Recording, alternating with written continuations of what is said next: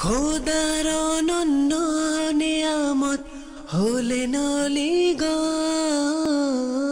এ বিশ্ব হলো দেহ প্রাণ হলেন অলিগণ আলহামদুলিল্লাহ রবিল আলমিন ওসলাত ওয়াসালাম আলা সৈয়দুল মুরসালিন আম্মা বাদ فأعوذ بالله من الشيطان الرجيم بسم الله الرحمن الرحيم الصلاة والسلام عليك يا رسول الله ওয়াইলা আলিকা ও আসহাবিকা ইয়া হাবিবাল্লাহ আসসালাতু ওয়াসসালামু আলাইকা ইয়া নবিজাল্লাহ ওয়াইলা আলিকা ও আসহাবিকা ইয়া নূরাল্লাহ মাদানী চ্যানেল দর্শকবৃন্দ, দেখছেন অনুষ্ঠান আল্লাহ ওয়ালাদের চরিত্র। আসুন অনুষ্ঠানের শুরুতেই দুরুদে পাকের ফজিলত শ্রবণ করে নিই। তাজেদার রিসালাত শাহিন শাহিন নবুয়াত মুস্তফা জান রহমত হুজুরপুর নূর সাল্লাহু আলহি ওসাল্লাম ইরশাদ করেন।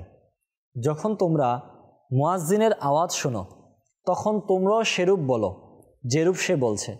অতপর আমার উপর দরুদ শরীফ প্রেরণ করো, কেননা যে আমার প্রতি একবার দরুদ শরীফ প্রেরণ করবে, আল্লাহ তালা তার প্রতি দশটি রহমত নাজিল করবেন। সল্লু আল হাবিব সাল্লাহ তালা আলা মুহাম্মদ। সাল্লাহ তালা আলী ওসাল্লাম দুরুদে পাক অনেক বড় একটি ইবাদত। সবচেয়ে বড় কথা হচ্ছে, দুরুদে পাকের মাধ্যমে নবী করিম সাল্লাহ আলী সাল্লামের মোহাব্বত, ভালোবাসা অর্জিত হয়, ভালোবাসা বৃদ্ধি হয় কেয়ামতের দিন। আমার নবী সাল্লাহ আলী সাল্লামের সাহচর্য নসিব হবে। তাই আমাদের উচিত হচ্ছে গভীর মোহাব্বত, ভালোবাসা নিয়ে দুরুদে পাক পাঠ করা। আল্লাহ করিম আমাদেরকেও অধিক পরিমাণে দুরুদে পাক পাঠ করার তফিক দিক। শাইখে কামিল আমির সুন্নত ইসলাম ভাইদেরকে যে বাহাত্তর নেক আমল রিসালা দিয়েছেন সেই বাহাত্তর নেক আমল পুস্তিকার মধ্যেও তিনশত তেরো বার কমপক্ষে দুরুদে পাক পাঠ করার ব্যাপারে তারগিব দিয়েছেন আমরাও নিয়ত করি। বেশি না হলেও কমপক্ষে দৈনিক তিনশত তেরো বার আমরা দুরুদে পাক পড়ব। ইনশা আল্লাহুল করিম। আল্লাহ করিম আমাদেরকেও তফিক দান করুক। নিয়ত আমল থেকে উত্তম। আসল নিয়ত করি। যতক্ষণ অনুষ্ঠানটি দেখব, শুনব, গভীর মনোযোগ সহকারে দেখে আল্লাহ তালা সন্তুষ্টি অর্জনের জন্য আইল মেদিন হাসিলের নিয়তে দেখব, শুরু থেকে শেষ পর্যন্ত দেখব। অর্ধেক দেখে চলে যাব না, বা টিভিকে অফ করব না। পুরো অনুষ্ঠান দেখব, যা শুনব নিজের স্মরণে রেখে আমল করব, অপর ভাইয়ের নিকটও নেকির দাওয়াত স্বরূপ পৌঁছে দেব। প্রতিটি পর্বে আমরা, আলহামদুলিল্লাহ আল্লাহওয়ালাদের চরিত্র নিয়ে আল্লাহওয়ালাদের চরিত্রের একটি দিক বা কয়েকটি দিক নিয়ে বা কয়েক, একটি গুণ নিয়ে আমরা আলোচনা শ্রবণ করে থাকি। আজকে ইনশাল্লাহ আমরা একটি গুরুত্বপূর্ণ বিষয় সম্পর্কে শুনব, যেটি আমাদের জন্য খুবই গুরুত্বপূর্ণ। প্রত্যেকটি বিষয় গুরুত্বপূর্ণ, কিছু কিন্তু আজকের বিষয়টি আরও বেশি গুরুত্বপূর্ণ। কেননা, আজকের বিষয়ের সাথে মুমিন এবং মুনাফিকের পার্থক্য সম্পর্ক রয়েছে। যদি কেউ এই কাজ করে, তাহলে সে মুনাফিক হয়ে যাবে। নবী পাক সাল আইডি সাল্লাম এই অভ্যাস যার মধ্যে থাকবে, তাকে মুনাফিক হিসেবে গণ্য করেছেন। আর যদি কেউ এই কাজটি না করে না করে যদি যা বলে সেটাই করে, এই কাজের বিপরীত করে, তাহলে সে মুমিন। সেই কাজটি কি? আমরা জানি মুনাফিকের তিনটি লক্ষণ। এর মধ্যে একটি হচ্ছে ওয়াদা রক্ষা না করা জিহা প্রতিশ্রুতি রক্ষা না করা, ওয়াদাকে ভঙ্গ করা। আজকে আমরা শুনব, আল্লাহওয়ালা যারা ছিলেন, তাদের চরিত্রের মধ্যে ওয়াদা ভঙ্গ না করার কেমন মনমানসিকতা ছিল, তারা ওয়াদা দিয়ে প্রতিশ্রুতি যদি কাকে দিতেন, সেটাকে কীরকমভাবে পালন করতেন? প্রথমত, ওয়াদা পালন করা, ওয়াদা ভঙ্গ না করা এ ব্যাপারে কোরআনে পাক আমাদেরকে কি ইস্বাদ করছেন? আল্লাহ পাক রাব্বুল আলমিন কোরআনে পাকের পনেরোতম পারা, সুরা বনি ইসরায়েলের চৌত্রিশ নং আয়াতে ওয়াদা পূরণের গুরুত্বকে এরকমভাবে বর্ণনা করেছেন। কাজুল ইমান থেকে অনুবাদ। এবং অঙ্গীকার পূরণ করো নিশ্চয়ই অঙ্গীকার সম্পর্কে কৈফিয়ত তলব করা হবে। মুফাসিরে কোরআন হজরতে আল্লামা সৈয়দুনা ইসমাইল মক্কি রহমতুল্লা এ আয়াতের আলোকে লিখেন এই আয়াতে মুবারাকায় ওয়াদা পূরণ করার আদেশ দেওয়া হয়েছে। হোক তা আল্লাহ তালার ওয়াদা, হোক সেটা বান্দার ওয়াদা। আল্লাহ তালার প্রতি অঙ্গীকার হলো তার ইবাদত করা এবং বান্দার সাথে ওয়াদার মধ্যে প্রত্যেক জায়জ ওয়াদাই অন্তর্ভুক্ত। আফসোস, শতকোটি আফসোস। ওয়াদা পূরণ করার বিষয়ে আমাদের অবস্থা তেমন ভালো নেই, বরং ওয়াদা ভঙ্গ করায় আমাদের জাতীয় অভ্যাস হয়ে দাঁড়িয়েছে। তাফসিরের তাবারিতে বর্ণিত রয়েছে নিশ্চয় আল্লাহ তালা ওয়াদা ভঙ্গকারীর কৈফিয়ত গ্রহণ করবেন। এজন্য, হে লোকেরা, তোমাদের সাথে যাদের অঙ্গীকার হয়েছে তা ভঙ্গ করো না। কেননা ওয়াদা ভঙ্গ করে বিশ্বাসঘাতকতা করো না। তেরোতম পাড়া সুরা রাদের বিষ্ণু আয়াতে আল্লাহ তালা ইস্বাদ করেন, ওইসব লোক যারা আল্লাহর প্রদত্ত অঙ্গীকার পূর্ণ করে এবং অঙ্গীকার ভঙ্গ করে বেড়ায় না, এখানে আল্লাহ পাক যারা ওয়াদাকে পূরণ করে তাদের প্রশংসা করেছেন, তাদের শানকে বর্ণনা করেছেন যে ওই সমস্ত লোক যারা ওয়াদা করার পর সেটাকে ভঙ্গ করে না, বরং ওয়াদাকে পূরণ করে কোরআনে মুফাসির ইসমাইল হাকির রহমতুল্লাহ এই আয়াতের ব্যাখ্যায় বলেন, আখিরাতের উত্তম প্রতিদানের ব্যাপারে তাদের জন্যই, আখিরাতের উত্তম প্রতিদান তাদের জন্যই যারা আল্লাহ তালার প্রতি প্রদত্ত অঙ্গীকার পূর্ণ করবে, তার প্রতিপালক হওয়া সাক্ষ্য দেয় এবং তার আদেশকে মান্য করে। আল্লাহ তালার সাথে করা অঙ্গীকার এবং সে ওয়াদাসমূহ ভঙ্গ করে না যা তারা মানুষের সাথে করেছে। আঠারোতম পাড়া সুরা মিনুনের আট থেকে এগারো আয়াতে ওয়াদা পূরণকারীকে জান্নাতুল ফিরদাউসের সুসংবাদ প্রদান করা হয়েছে। সুবাহান আল্লাহ কেমনভাবে? আসুন আমরা শুনি। আল্লাহ পাক রব্বুল আলমিন কোরআনে পাকের সুরা মুমিনুনের আট থেকে এগারো আয়াতে ইস্বাদ করেন। কাজুল ইমান থেকে অনুবাদ। এবং ওইসব লোক যারা তাদের আমানতগুলো ও নিজেদের প্রতিশ্রুতি রক্ষা করে এবং ওইসব লোক যারা নিজ নিজ নামাজসমূহের প্রতি যত্নবান হয়, তারা ফিরদাউসের উত্তরাধিকার পাবে তারা তাতে চিরস্থায়ী থাকবে। সদরুল আফাজিদ, মাওলানা মোহাম্মদ নয়মুদ্দিন মুরাদাবাদী রহমতুল্লাহ সুরা মুমিনুনের বর্ণনাকৃত অষ্টম আয়াতে মুবারাকার আলোকে বলেন, হোক সেই আমানত আল্লাহ তালার বা সৃষ্টির, অর্থাৎ লোকের, এবং এইভাবে অঙ্গীকার আল্লাহ তালার সাথে হোক, কিংবা সৃষ্টির সাথে সকল কিছুই পূর্ণ করা আবশ্যক। আল্লাহ তালার সাথে মানে হচ্ছে আল্লাহ পাকের ইবাদতের ক্ষেত্রে। আর মানুষের সাথে প্রত্যেক জায়জ ওয়াদে এগুলোর মধ্যে অন্তর্ভুক্ত। যারাই সেগুলোকে পূরণ করবে, তারা জান্নাতের অধিকার হবে। তারা জান্নাত পাবে। আর কোন জান্নাত? জান্নাতুল ফিরদাউস। হজরতে আল্লামা কুরতুবি রহমতুল্লাহ এই আয়াতের আলোকে বলেন, সকল প্রকার দায়িত্ব যা মানুষ তাদের জিম্মায় নেয়, হক এর সম্পর্ক দিনের সাথে, কথাবার্তার সাথে কিংবা চরিত্রের সাথে, তা পূরণ করা হচ্ছে মুসলমানের অনন্য শান। মুসলমানের এটাই শান, এটাই বৈশিষ্ট্য ওয়াদা পূর্ণ করবে। মুসলমানের কখনো এটা অভ্যাস হতেই পারে না। মুসলমানের নিজের চারিত্র চরিত্রের মধ্যে কখনো এই অভ্যাস থাকতেই পারবে না যে সে ওয়াদাকে ভঙ্গ করবে। কারণ মুসলমান হয়ে আমি জন্ম নিয়েছি মানুষের ওয়াদাকে পূরণ করার জন্য। আমি মুসলমান, আমাকে ওয়াদা পূরণ করতে হবে, জায়জ ওয়াদা যেগুলো রয়েছে। কিন্তু আমাদের অবস্থা খুবই করুণ হয়ে যায়। আমরা আজ ওয়াদা করি, কালকে ভুলে যাই। একজনের সাথে করি, আরেকজনের কাছে গিয়ে ভুলে যাই।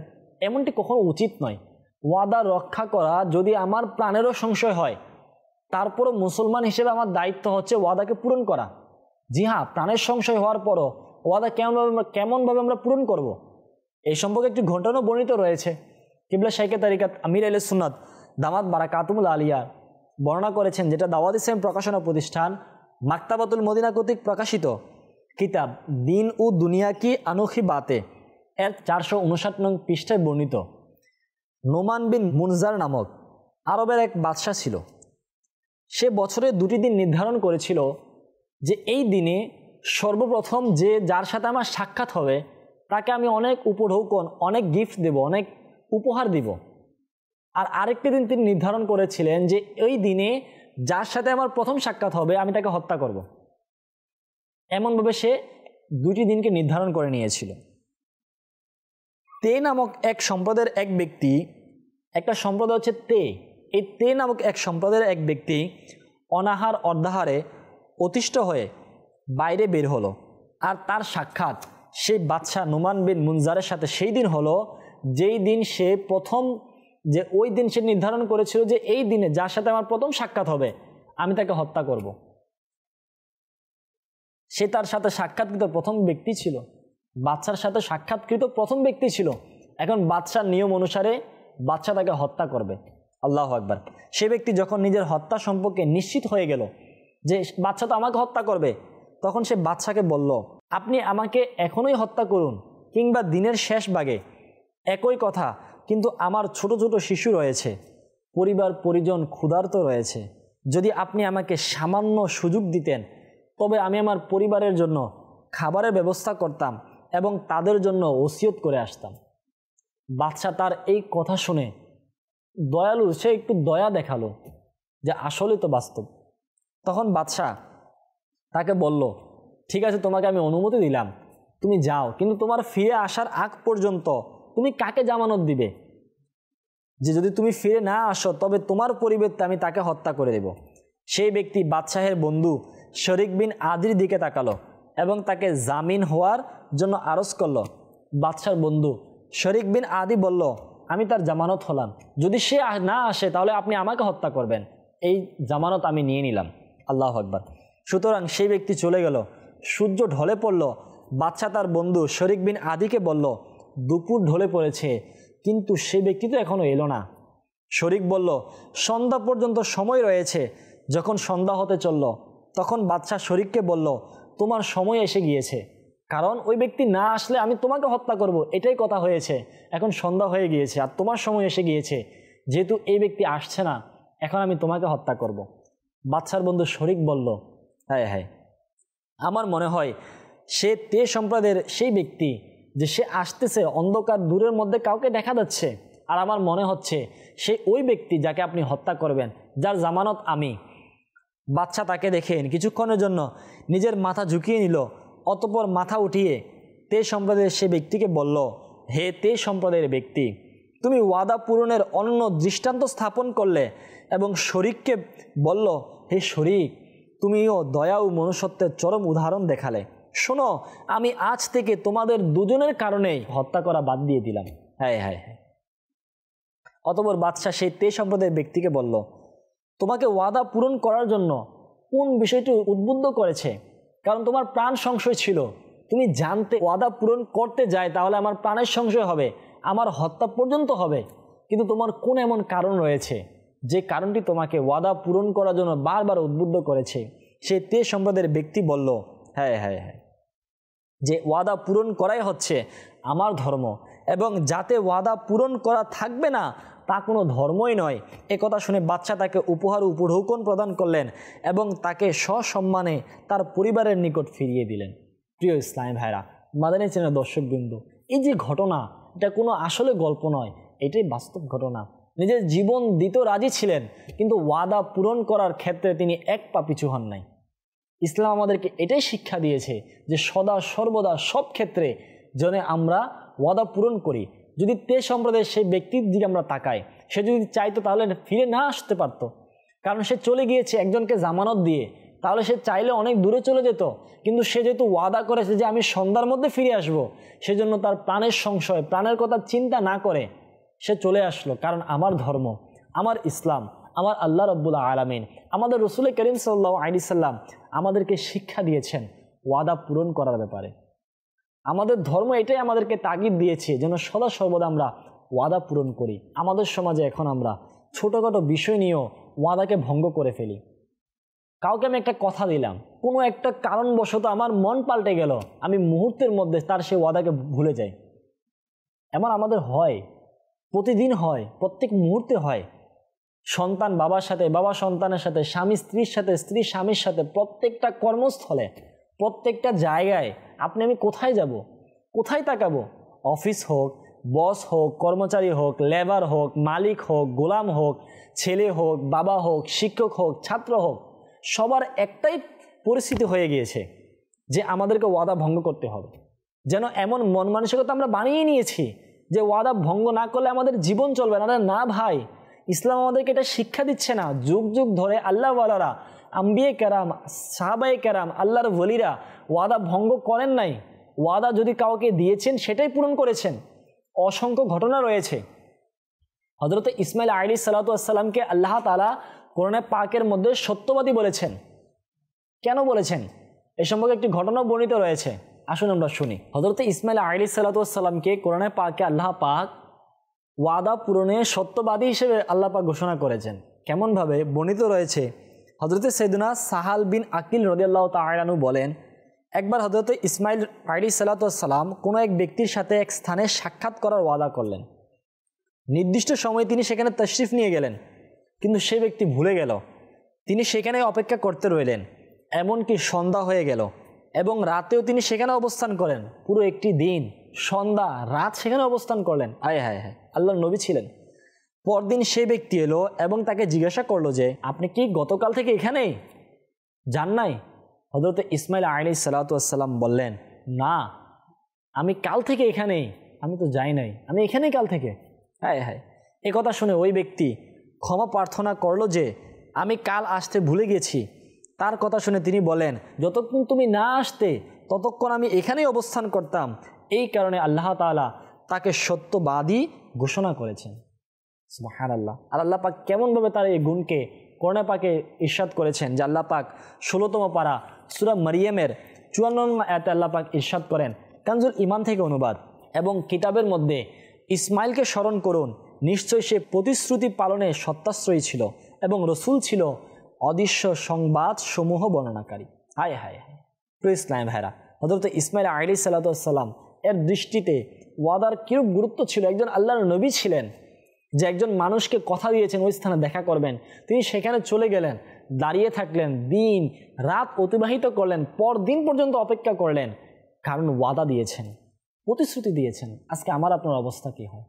আমরা কাউকে কথা দিলাম যে সকাল দশটায় আমি আপনার সাথে দেখা করব। আমি ঘর থেকে বেরোলাম সকাল নয়টা পঞ্চান্ন মিনিটে। এখন গাড়িতে উঠতে উঠতে আমার দশটা বেজে গিয়েছে। আমার প্রতিশ্রুতি তো রক্ষা হয় নাই। আমার ওয়াদা পূরণ আমি ব্যর্থ হয়ে গিয়েছি। এটা কেন হয়েছে? কারণ ওয়াদা পূরণ করার ব্যাপারে আমার মন মানসিকতা একদমই নেই। হয় এমনই। কাউকে আমি কথা দিলাম, ভাই, আপনি আমার জন্য অমুক স্থানে অপেক্ষা করেন। আমার আসতে আধা ঘণ্টা সময় লাগবে। দিয়ে ফেলছি কথা। ওয়াদাবদ্ধ হয়ে গিয়েছি।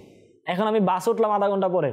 বেচারা আমাকে কল করছে, ভাই, আপনি কোথায়? এখন মোবাইলের জামানা, মিথ্যা বলে দিয়েছি। ভাই, আমি তো এই তো কাছে আছি। এই তো আমি আপনাকে দেখতেছি। এই পাঁচ মিনিট সময় লাগবে, কিন্তু আমাকে যেতে আর আধা ঘণ্টা লাগবে। ও বেচারাকে আধা ঘণ্টা ধরে অপেক্ষা করাচ্ছি, আমি যেতে আধা ঘণ্টা, এক ঘণ্টা হলো। তাহলে আমার কথার দাম কোথায় রইল? মনে রাখবেন, এগুলোর কারণে প্রথমত মানুষের মনে কষ্ট যাচ্ছে, আর মানুষের কাছে আমি ছোট হয়ে যাচ্ছি।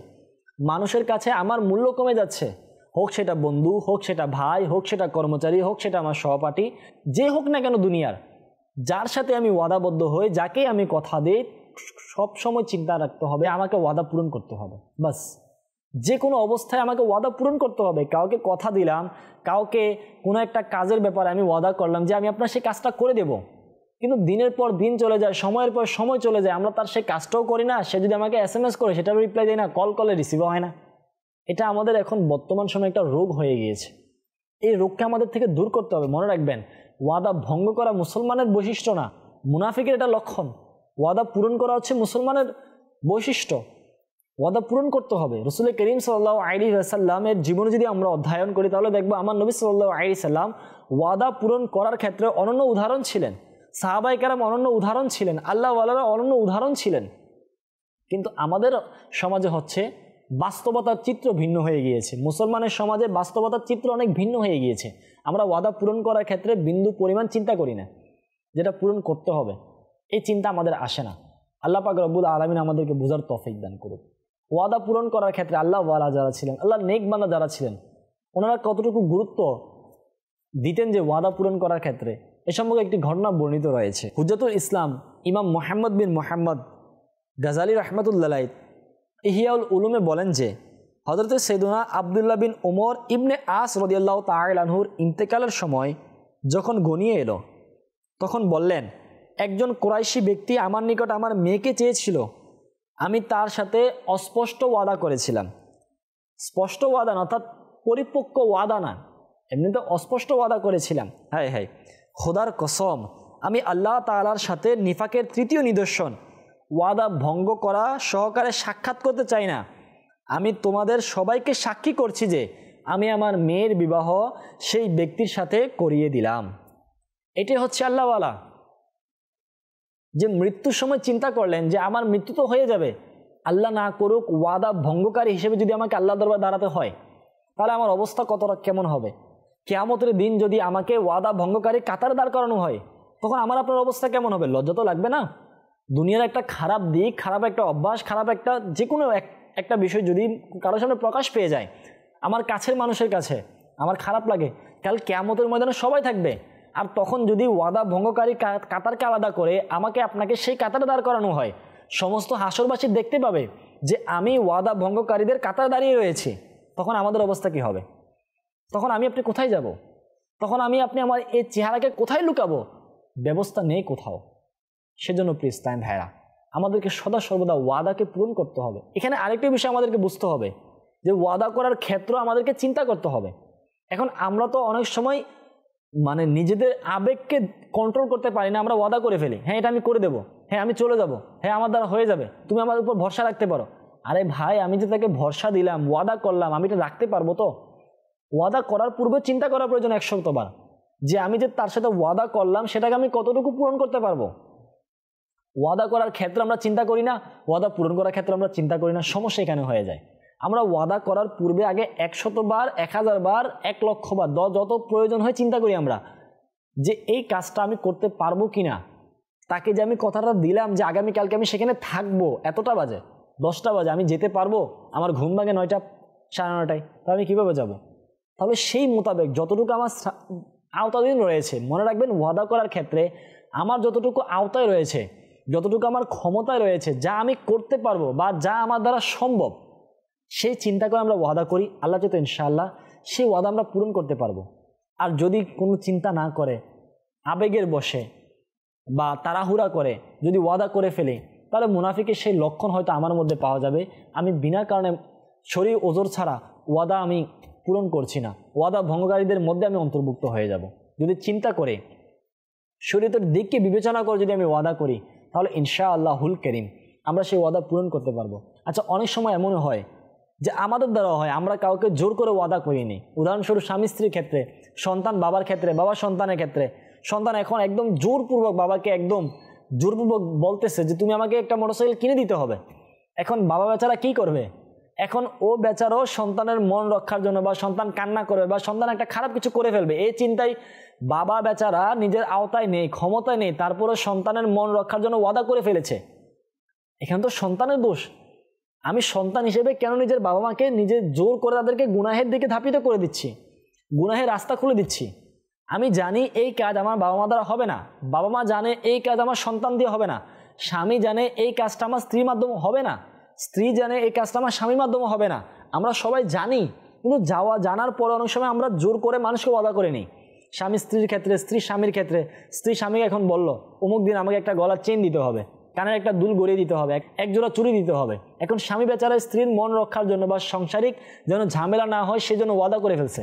এখন সে টাকা আনবে থেকে স্ত্রী হিসেবে বা স্বামী হিসেবে, সন্তান হিসেবে, পিতামাতা হিসেবে আমাদেরকে প্রত্যেক ক্ষেত্রে চিন্তা করতে হবে।